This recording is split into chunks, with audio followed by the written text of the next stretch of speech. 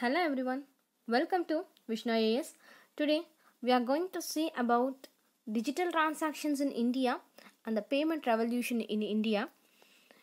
Oh, so both the topics you are going to see together with advantages and disadvantages. Okay. First, what is digital payment system? Digital payment system is a way of payment in which which is made through the digital modes completely online. No hard cash is involved in the digital payments. Okay, that is we are making the payment through digital modes. Okay, that is through online. Completely it is through online. There is no hard cash. There is no money, hard cash money is involved in this.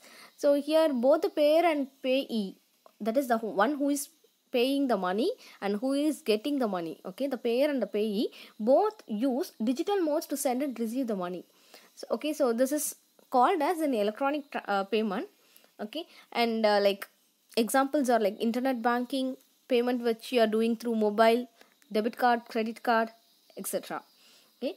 New pay- payment modes have transformed digital payment ecosystem by increasing the person to person as well as person to merchant payments also okay? That is person to person. So if we, if you want to uh, give money to somebody else you can uh, do through online. And if you want to pay some amount. We nowadays we are doing even e-commerce is, is very famous now. Okay that too in corona time uh, we are um, using this online platforms to transfer the money to buy the products and everything. So through this we don't want to uh, physically present in a bank to do all these transactions. And also everything is in digital moment uh, mode. So we don't want to go to the atm or the banks and it is saving your time also. And everything can be done by sitting in one place at any time. Okay so this is very convenient actually. There are different digital payment modes in india. Okay they are the cards using cards internet banking mobile banking unified payments interface Aadhaar enabled payment system mobile wallets. Okay cards cards is the banks are offering consumers uh, the cards like credit card debit card prepaid cards. So all these cards these are more uh, this gives the consumers a more security and convenience and control uh, the uh, any other payment of method. Okay the uh, most people are widely uh, using this card system. And next is this internet banking. In internet banking it is an electronic payment system which will uh, help the customers of the bank or any financial institution to conduct a range of financial transactions okay through their website. And different types of online financial transactions like uh, as you know neft national electronic fund transfer rtgs real time gross settlement imps immediate payment service. And um, next is mobile banking. Through mobile phones also we can do banking nowadays. So through your registered mobile number okay? Uh, banks are providing service through the mobile phone apps that allows its customer to conduct different types of financial transactions using their mobile device. And it uses a software that is the app which is provided by the bank or the particular financial institution for this purpose. And each and every bank is having its own mobile app for this purpose. Next is this unified payment interface that is upi this is also a system where that powers the multiple bank accounts into a single mobile application of any participating bank okay? Merging several banking features and seamless fund uh, routing and merchant payments into one hood okay? So each bank provides its own upi app also. Next is um, Aadhaar enabled payment system AEPS. So this is a bank led model that allows online interoperable financial transactions at POS that is point of sale or any micro ATM that through that the business correspondent or the bank mitra of any bank using the Aadhaar authentication okay? Using the Aadhaar authentication it allows the financial transaction. So that is this Aadhaar uh, enabled payment system.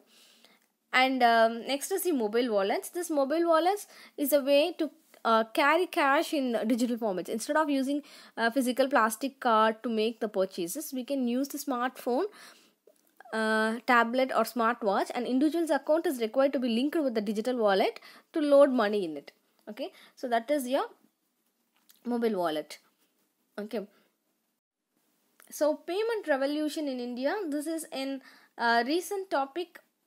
Okay, this is a recent topic which you can see in the news.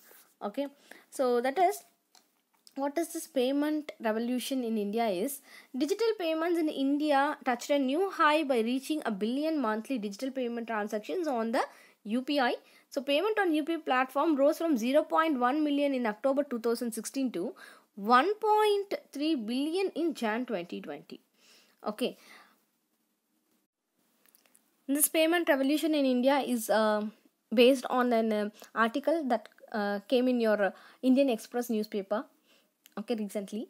So uh, according to that what is said in that article is recently digital payments in india have touched a new hike high okay by reaching a, mil- a billion monthly digital payment transactions on this upi due to corona this online transaction that is digital payment transactions have increased more India was financially excluded nation. Okay, in by one, one 2011 in 2011 only 17% of Indians had bank account. So according to the World Bank, at the pre 2011 speed that is before 2011 what was the speed okay so at the pre 2011 speed it would take 50 more years for 80 percentage of the indians to get the bank account okay so but this revolution have taken place okay. So what is the reason for this kind of uh, payment revolution is? The various reasons for this payment revolution is first thing is all the is all about the government schemes which involved in increasing uh, the uh, number of bank accounts. And another thing is the central bank or the reserve bank of india it created a non-profit market participant entity and leveling the playing field between the non-banks and the banks. So a paper by the Bank of International Settlements okay suggests that India demonstrates how a central bank can be proactive and equal partners with the private sector counterparts when it comes to fostering technological inno- innovation in finance okay so uh, what is the use of technology is it uh, aimed at balancing trade off like ease of use this is fraud prevention. This can be seen through upi okay so uh, it is aiming at the balancing trade off okay with the use and also with fraud prevention also. Elements of um, revolution okay so first is aadhaar card. In 2010 indian government decided it would take a full digital fingerprints and an id scan from each citizen to create a digital identity okay about 1.2 billion indians now have a digital identity. So aadhaar provided a solid foundation for the banking the unbanked okay? That is financial inclusion. So it acted as an identity rail that is giving banks and fintech companies a secure means to identify would be customers and the government and business an easy way to pay them. Okay so the launching of aadhaar card is the first element. And next is the npci that is National Payments Corporation of India. It's an umbrella organization for operating retail payments and settlements system in India and it is an initiative by RBI and uh, IBA that is Reserve Bank of India and Indian Banks Association under the provisions of the Payment Settlement Systems Act 2007 for creating a robust system of payment and settlement infrastructure in India. So it has been incorporated as a not-for-profit company under the provision of Section 25 of Companies Act 1956. So it uh, together with um, NPCI, together with RBI and IBA, it established a platform called UPI. Okay, so that is this UPI act as an payments rail that it gives those players uh, access to infrastructure that enables the transfer of funds. Okay, so let's see what is this UPI. Okay, so UPI is India has taken a major step towards achieving the cashless economy with the advent of this unified payment interface that is UPI. It is a single platform that merges various banking services and features and under one umbrella. So it also caters to the peer-to-peer collect requests which can be scheduled and paid as per requirement and convenience. UPI turns smartphones into a virtual debit card. So it also allows the real-time bank-to-bank payments to be made using a mobile number or virtual payment address.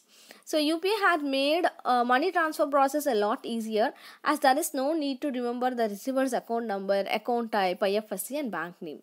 Okay? So what is the thing is instead money transfer can be made only by knowing the Aadhaar number mobile number registered with the bank account or UPI ID okay a UPI uh, ID is a unique identification for the bank account that can be used to send and receive funds okay so this UPI it is making it is making the uh, digital retail transactions little easy so UPI has become the most common method for digital transactions.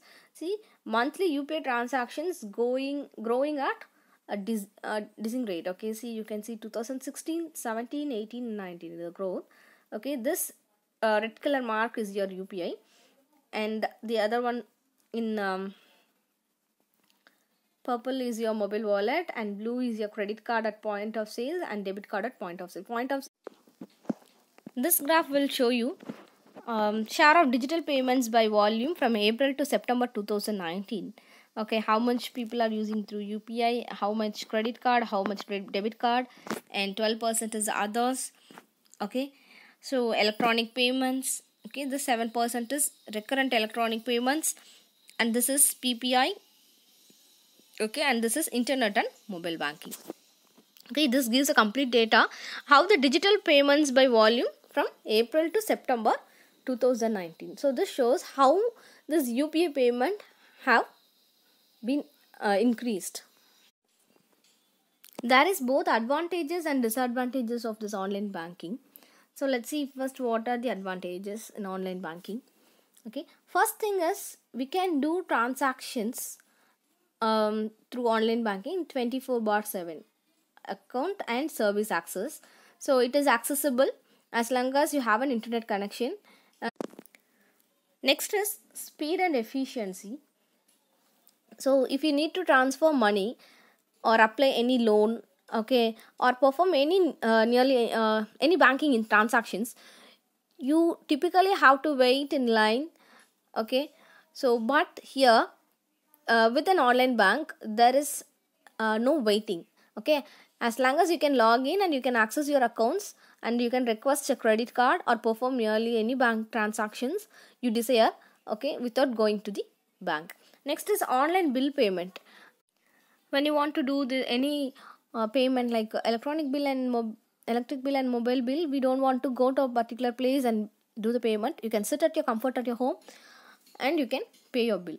And next is low overhead can uh, mean low fees. That is it do not have to pay for things like electricity or any services uh, landscaping or rent. It, it can and uh, so that they can pass those savings along the customers okay. For example so most online banks offer free online checking account with no deposit. So along with no fee bank accounts. Okay.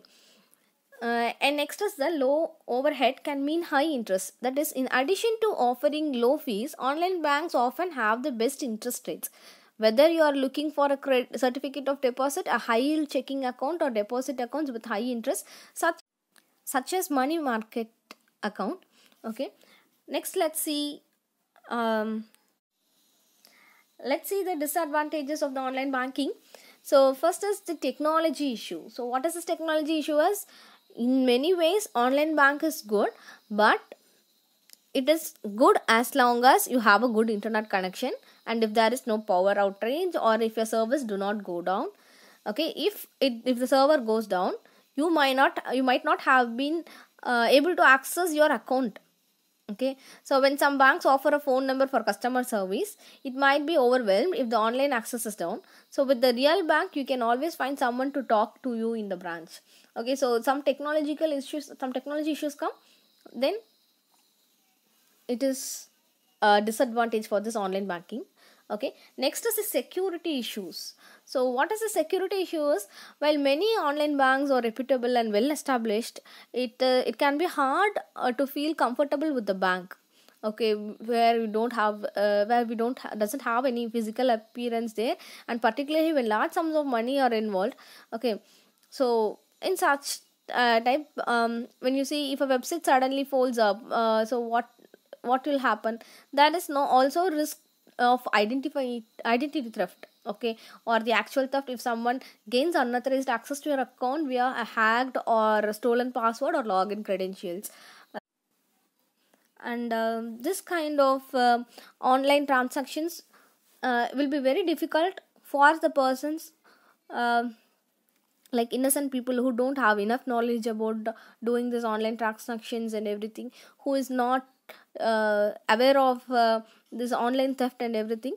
So they may lose their money uh, through uh, hacking or the stolen password and so on so. And next is the inefficient at complex transactions. So what is this inefficient and con- complex transaction is online banks might be able to transfer money only between accounts or payables but you might not be uh, might be more comfortable with an international um, bricks and mortar bank if you have a complex transaction okay?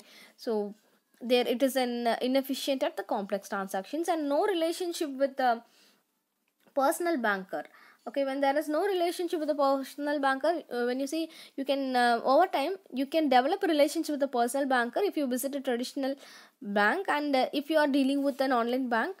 On the other hand you will be typically handed off to an anonymous customer service agent who is likely to know you from the next customer okay so if you are really in a bind uh, financially speaking uh, having a relationship with someone who can help and who knows you well can be a major advantage over a strictly online banking relationship. Okay next is inconvenient to make deposits. It might seem um, a counter initiative that a bank whose purpose is to attract assets. It makes it hard for the customers to make deposit but that can be true in case of some online banks. So um, with an online bank you cannot uh, simply drop off cash or check at a local branch. Okay so that is also another disadvantage. And when you see when you openly speaking um, as as i said you have the banks have this online banking is having both advantage and disadvantage whereas the disadvantage is more to the illiterate or uh, those are having very less knowledge about all these uh, online uh, transactions and the smart technologies. So for those kind of people it is really uh, disadvantage for these people and uh, it will be difficult for those people to understand uh, about all these means. So what is this upi and how to do all these transactions? If anything goes wrong they uh, are uh, they're not comfortable not uh, comfortable to solve the problem. Okay? Thanks for watching. Do subscribe our channel. Don't forget. And um, join our telegram channel to get info about the daily current affairs. Thank you